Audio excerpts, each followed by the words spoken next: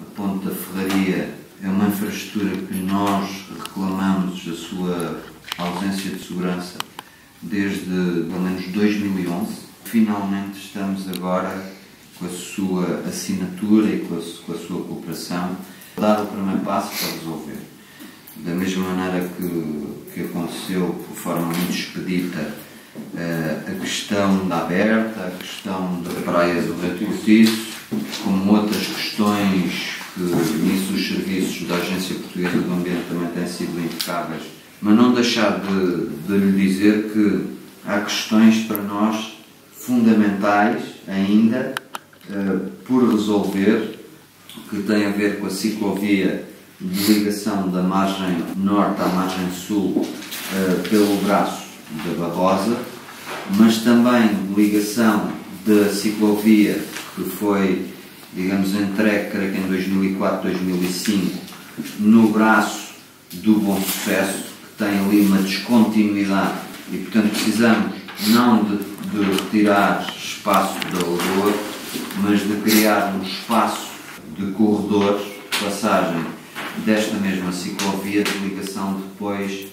à mesma ciclovia que foi interrompida aqui por Lita, que ele trouxe, uh, para fazer. Da mesma maneira que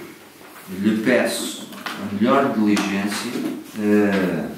para resolver uma outra questão que tem a ver com o estado de degradação da ciclovia que,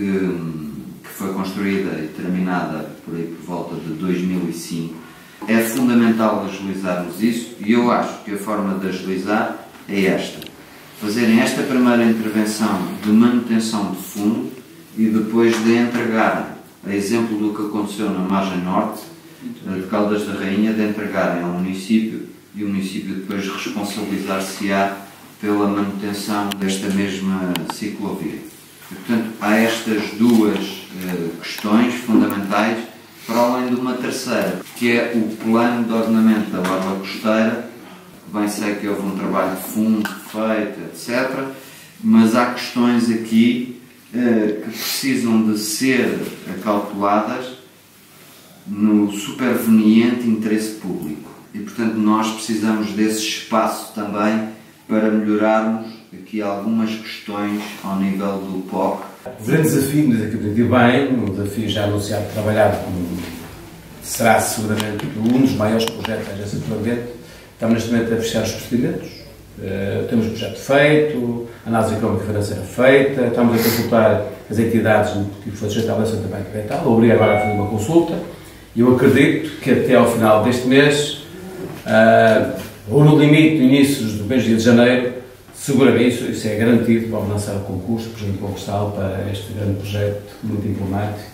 e muito aguardado, aqui ansiosamente pelo município de Óbidos